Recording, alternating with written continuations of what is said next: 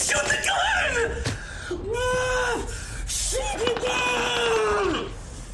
Shoot the gun! Just going out. Shoot the gun!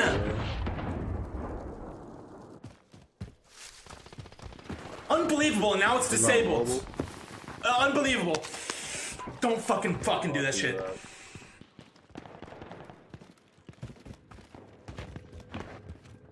She's literally sitting there fucking jacking off the gun, fucking making sure it gets the loadout. I mean, Jesus fucking Christ. Fucking shoot.